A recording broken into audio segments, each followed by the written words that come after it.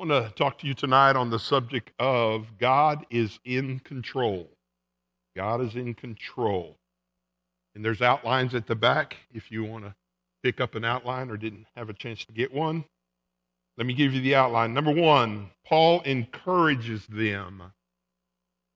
Paul encourages them. Number two, Paul reminds them. You know, we all need reminders. Uh, you know, I'm just thinking as we get older, those stick it things, those square things I put around, you know, my office or my house so I can remember things. And number three, Paul prays for them. Paul prays for them.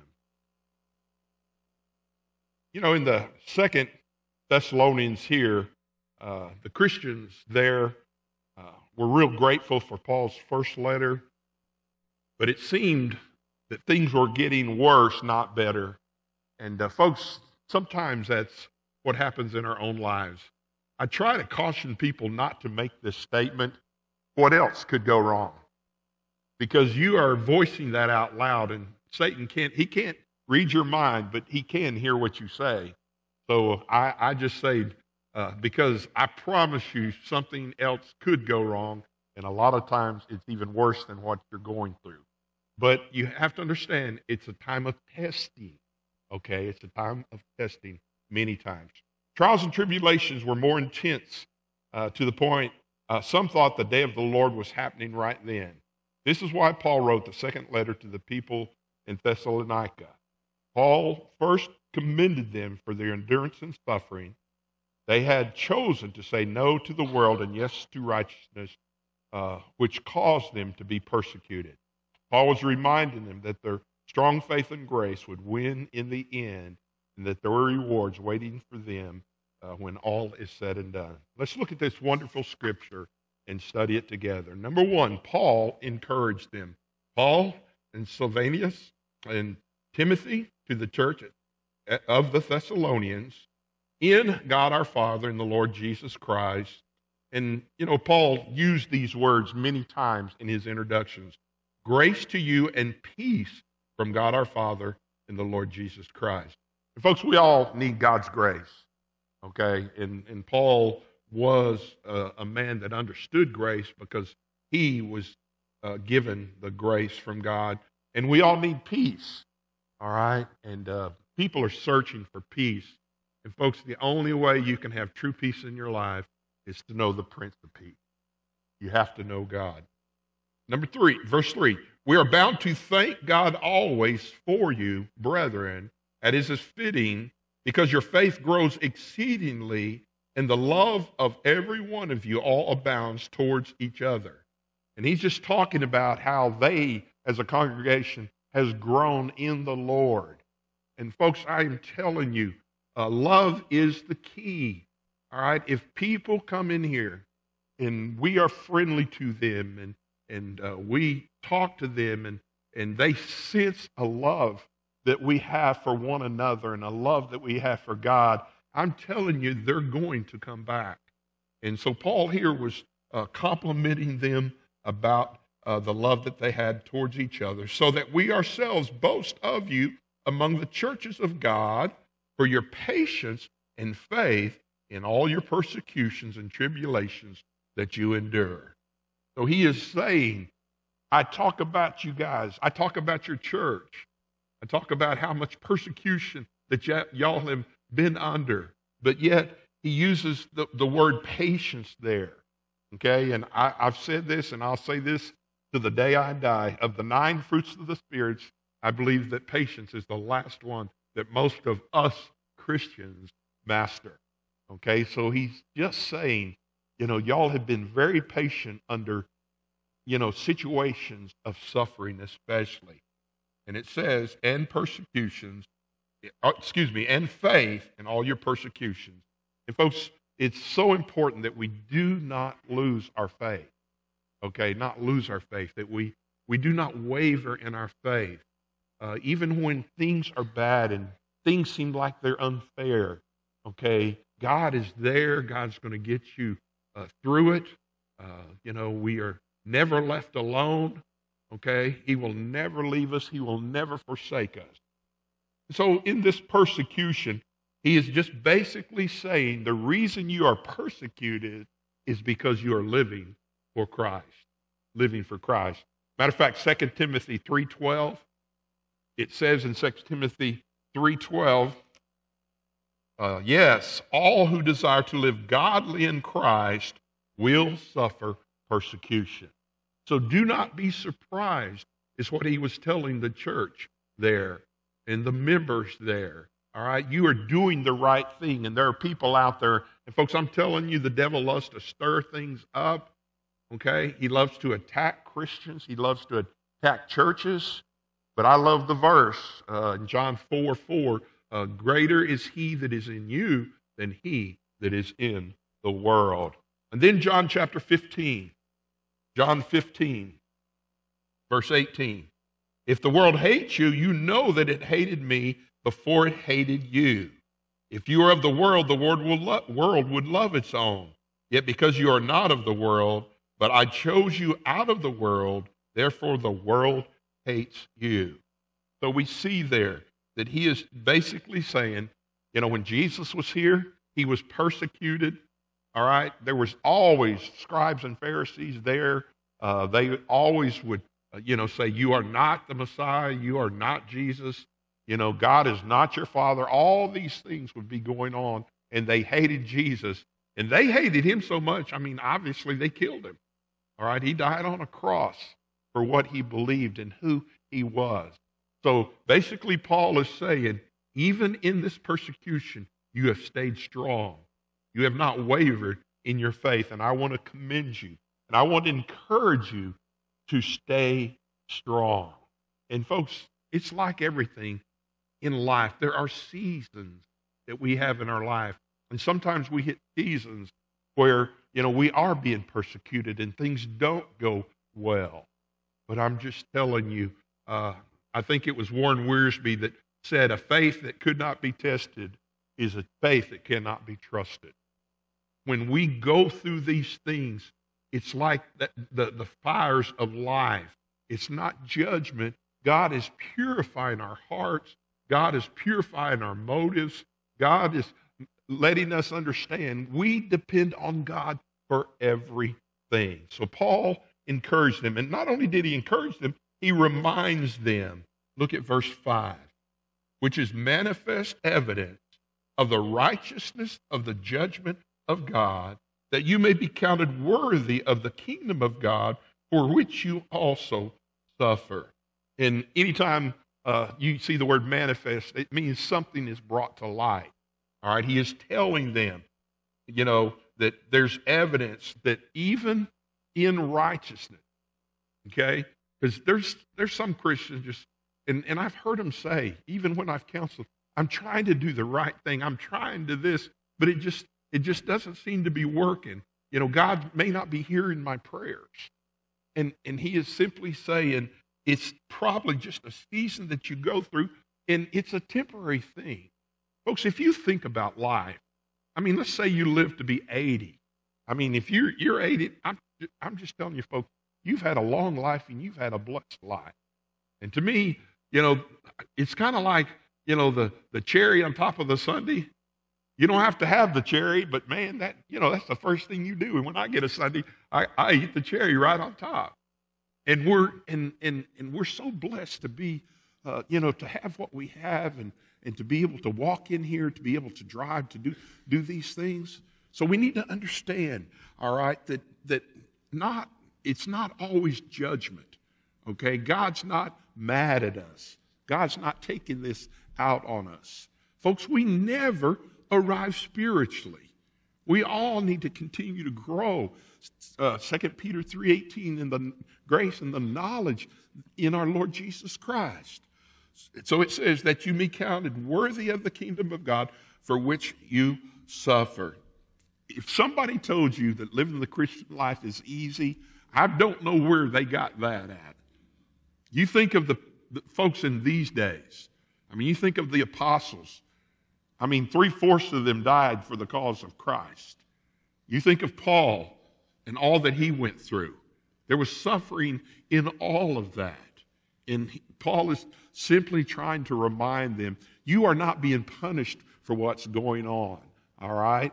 It's, it's a testing time. And it says, uh, since it is a righteous thing with God to repay with tribulation those who trouble you and give you and to give you who are troubled rest with us when the G- Lord Jesus is revealed from heaven with his mighty angels. So, what's the next thing he says?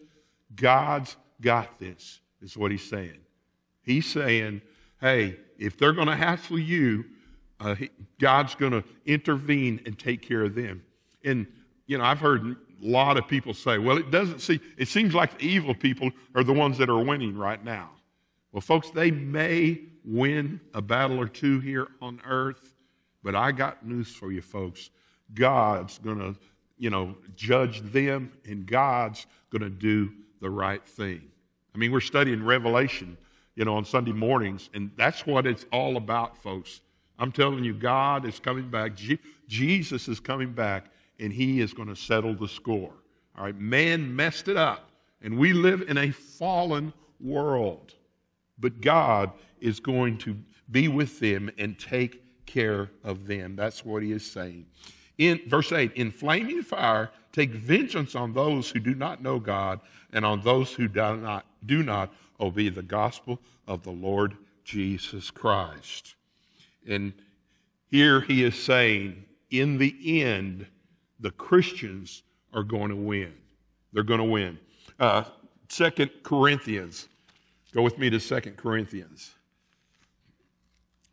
2 Corinthians 4. 2 Corinthians 4, verse 16. Therefore, we do not lose heart. Folks, when we are going through hard times, when we are suffering, when there's persecution, we don't need to lose heart. We don't need to say, Why me, Lord? Okay? We don't need to give up.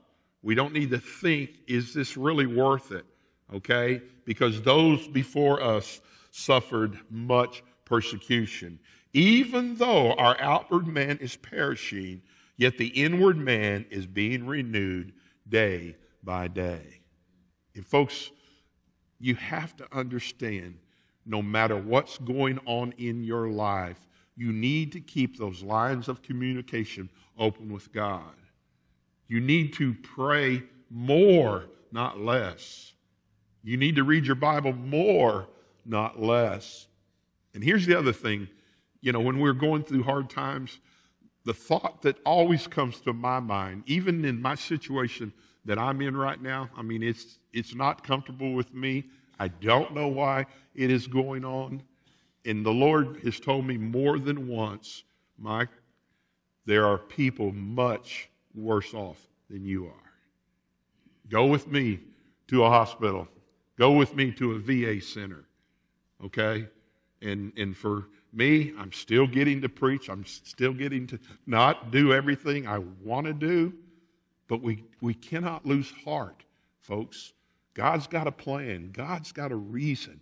And while these people were being persecuted and punished for their belief in Christ and their walk with the Lord, God has a plan. Now, look at this from Paul. This, this is just amazing to me. For our light affliction. Think of everything he had been through. I would not call his life a light affliction. All right? I mean, he was beaten, he was stoned, he was shipwrecked, he was thrown out of, ta- thrown out of towns. He, he had to, you know, sneak out of towns when they, you know, uh, threatened his life. He says, For our light affliction, which is but for a moment. And I, I, can relate to this, folks. Even if you live 80 years, I'm just telling you, compared to eternity, it's but for a moment. All right? And, and I'm, I'm telling you, the song that comes to my mind right now is It Will Be Worth It All When We See Jesus. And I really believe, even when we get to heaven, folks, I, I, I really believe God's going to uh, just take, erase the memories of the bad things that we, that we went through in life. Why? Because it's a perfect place. No pain, no sorrow. Okay? And I, I just really, folks, I, I think about heaven more now than I ever have in my life. And one of the reasons is I believe he's coming soon. is one of the reasons is. The other reason is his word says it. For our light affliction is but for a moment, working for us far more exceedingly uh, and eternally weight of glory. See, that's the difference in the natural world and the spiritual world. We live in a natural world, but the Christians live in the spiritual world. We see it different from them. Hey, I've been, and I've done funerals where it was a thing of celebration. Not a tear was shed. Why? Because they were happy. They were with the Lord. And I know grieving, I'm not saying you can't grieve. Everybody grieves in different ways. But that hope, I love the word hope. Our hope is in Jesus. And by the way, it's not a hope so thing. All right? It's going to happen, folks. All right? No matter what we go through, God is going to take care of us and encourage us. Far more exceeding eternal weight of glory, while we do not look at the things which are seen, but at the things which are not seen. For the things which are seen are temporary, but the things which are not seen are eternal. You, you, you step out of this church and look around, and you know what happens? Everything you see is going to burn up one day. It's, it's not going to be there. All right? God's making all things new. That's why we should not get upset over temporary things. All right? We have to have the right perspective. Paul is reminding them hey, Christians are going to be taken care of, and God is going to judge the lost. Those mean people, you know, every once in a while you just you just run into a mean person. I mean, you know, it's like, man, they didn't get out of bed, they fell out of bed. They didn't have breakfast, okay? And if they had it, it was lemon juice, not orange juice. I just, I just think, man, what, what's wrong with you? Why are you mad? And some people are just mad at the world. And folks, don't let those people take your joy away. They don't give you joy. Our joy is in Jesus. So Paul is reminding them of these things. Then Revelation chapter 20, and you know this scripture, but I'm, I'm going to read it to you anyway. Then I saw a great white throne, verse 11, and him who sat on it, whose face uh, the earth and the heaven fled away, and there was found no place for them. And I saw the dead, small and great, standing before God, and the books were open. And another book was open, which is the book of life. And the dead were judged according to their works by the things which were written in the books. God knows everything we did from the day we were born till the day we die. The sea gave up the dead who were in it. Death and Hades delivered up the dead who were in them. And they were judged, each one according to his works. Then death and Hades were cast into the lake of fire. This is the second death, and anyone not found written in the book of life was cast into the lake of fire. Folks, I am telling you, it does it, it doesn't please me or make me think, well, they're going to get theirs. I, I mean, really, you know, it breaks my heart because, folks, I have witnessed to people, and I've witnessed to some more than once or twice. And sometimes it's family members they just don't get it. They just, they just, they don't. And to realize, according to Scripture and what Paul is saying, he is simply saying, hey, don't dwell on the negative. They're going to get theirs according to God's holy word. Verse 9, these shall be punished. Back in our text, these shall be punished with everlasting destruction from the presence of the Lord and from his power. And we know Hell is real. Folks, death is real. When he comes in that day to be glorified in his saints and to be admired among all those who believe, because our testimony uh, uh, among you was believed. And, folks, I'm just telling you, the greatest day of your life, all right, if you are a Christian, and even if we have to go through death, I'm still holding out on the rapture of the church. But the greatest day in our life is, is when Jesus will come if, if we are caught up together with him. But either way, through death or through the rapture, it'll be the greatest day of our lives. So we see Paul encourages them, Paul reminds them, and then Paul prays for them. Verse 11 Therefore, we also pray always for you that our God would count you worthy of this calling and fulfill all good pleasure of his goodness and the work of faith with the power with with power. And he is basically saying, listen, uh, you know, I'm I'm praying for you guys. I'm praying for your church. I'm praying. And folks, I, I thank God for intercessory prayer. I cannot tell you how many times people people just randomly sometimes people will text Lori or send a message, you know, man, tell Mike we're praying for him. Tell, you know, I mean, churches, Cameron Baptist Church will send us reminders and things, you know, and just to realize how many people at First Baptist Alma, I'll see them out at a restaurant and they say, man, we've been praying for you. Folks, I thank God for intercessory prayer. And if we are not going through those things, folks, to me, I mean, we are the ones that need to pray for those who are going through hard times or tribulation. And it says that our God would count you worthy of his calling, and basically saying, just be who you were called to be. Then you're a Christian. To me, Christians should be the happiest people on the face of the earth. Think of all that we have.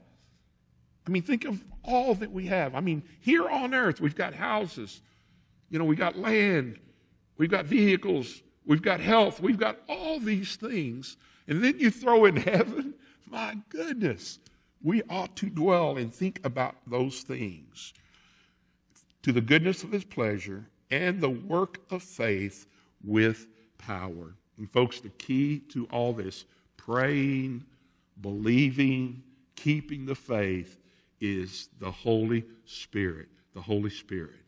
Folks, the Holy Spirit is the encourager, the Holy Spirit is our guide. The Holy Spirit is that voice. And, he, and again, I've never heard an audible voice, but I know when God talks to me through the Holy Spirit. He does. And, and, and that uh, should be displayed in our lives. That the name of our Lord Jesus Christ may be glorified in you, and you in him, according to the grace of our God in the Lord Jesus Christ. And why should we be doing this?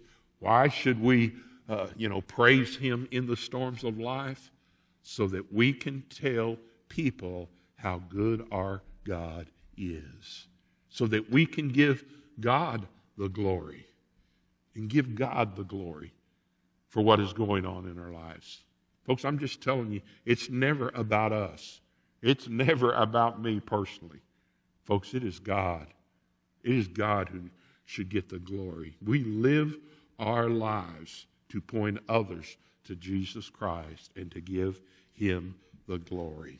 Ephesians 3, and I close with this. Ephesians 3, verse 14. Paul speaking to the church at Ephesus. For this reason, I bow my knees to the Father of our Lord Jesus Christ. I read one commentary, and it's been a long time ago, but it described Paul at the end of his life. And one of the descriptions was that he had literal uh, blisters, and, and, and he was on his knees so much that they knew he was a man of prayer. Can you imagine being on your knees so much that, that your knees are that way? And you see that all through the epistles, folks. He said, I'm praying for you. I'm praying for you. I'm praying for you. For this reason, I bow my knees to the Father, our Lord Jesus Christ, from the, who the whole family in heaven and earth is named, that he would grant you according to the riches of his glory. Folks, you have to realize we're rich. We're rich. You're thinking, man, I'm not rich. Oh, you are. If you're a Christian, you're rich, folks. I'm telling you. And it says, to be strengthened with his might through his spirit in the inner man that Christ may dwell in your hearts through faith, that you may be rooted and grounded in love. And, folks, I'm just telling you, it was love that sent Jesus down from heaven. God loved us so much that he gave us his only begotten Son. It was love that Jesus had for mankind, that he started that journey when he was 30 years old. And folks, he was walking to the cross, and it was love that nailed him to the cross. It was love that extended to us salvation. And that same kind of love is the love that we need to share with others. Faith, hope, and love. But the greatest of these is love. And that's the difference, folks. We can love the unlovable through Jesus Christ. We can weather the storms of life through Jesus Christ. We can do all things through Christ who strengthens us because we have seen the example of God's love for us and we should love others. May be able to comprehend with all the saints what is the width, the depth, the length, and the depth, and the height, to know the love of Christ, which passes, passes knowledge. You know, sometimes when I read a stat about how deep the ocean is, I'm just thinking, I can't fathom that. And the other thing is, I don't want to be at the bottom of that either. All right? But what it's literally saying, and when you look up at the sky and you see the stars and how far they are away, and you think God's love is that deep, God's love is that high. As far as you look one way, folks, if you start on one end of the earth and you circled it, I'm just telling you, His love is infinite. That you may be filled with all the fullness of God. And I love this verse. Now, to Him who is able, folks, our God is able. I mean, you can fill in the blank. What do you need today? He's got it. If, if you're hungry, He is the bread of life. Okay, He is the healer. Jehovah Jireh. There, I mean, He is everything we need. Now, to Him who is able to, ex- to do exceedingly abundantly. You know, He could have just said exceedingly, He could have just said abundantly. But I'm telling you, His love, His strength, our God can do anything above all that we ask or think according to the power that works in us. And, folks, the power is the key. He has given us the Holy Spirit. So when you're down and, man, you got the mully grubs going and, you know, Satan is just working on you, you know, you can realize that, man, I'm a child of the King. I think of everything that God has given me. I've got the Holy Spirit inside of us. That root word comes from dynamo, dynamo which means dynamite. Now, folks, dynamite it's powerful. And that kind of love is in our hearts. And it says, To him be the glory in the church by Jesus Christ to all generations forever and ever. Amen. I've been asked a few times, and usually it's younger people that ask me this uh, How do you want to be remembered? You know, you, you just got to ponder that question. And more than anything, the short answer is I want to be remembered as a man that loved God and a man that served God. And folks, I give God all the glory. Anything that's good in my life, I give him the glory. Because I know where I've come from. I know even today I have fallen short of God's grace but He's always there to encourage me in the faith, to tell me, and man, you can get knocked down. And I had a very short boxing in the boys' club when I was in the eighth grade. I won my first match and thought I was something. And the next match, I, there was a Native American from uh, Anadarko, Oklahoma, that the last thing I remember, his glove was coming at my head, and my coach was saying, Is he going to be all right? Is he going to be all right? And sometime, by the way, that's the only two matches I had. I was done. I got hit so hard. Maybe that's what happened to me, Steve. That, I was thinking, people said I was dropped as a child, but I, I think it was the boxing. But I'm just telling you, folks, we're going to get knocked down by life. We're going to be in situations that we don't understand. We're going to be in situations that we don't like. But, folks, we're not alone. Our God is able. Father, thank you for your word. And God, I just, I love this scripture. Gosh, just to think that you're exceedingly and above, abundantly above all that we think. Man, we're just a speck in all the heavens. We're just a one grain of sand on all the beaches, but yet you loved us and you chose us and you saved us. And you're making us into your children. God, I pray that we sh- would show the love of Christ to everyone that we come in contact with. God, I pray that we would understand you're in control. You're never bothered. You never panic. You know our every move. And God, the key is that power, that battery pack. It's the Holy Spirit. So, God, I pray that we would live a life that the Holy Spirit just wells up in us. And God, I pray that we would do the right thing every time. And so, God, thank you for the gift of the Holy Spirit. Thank you that God is there. He, he's just there, God.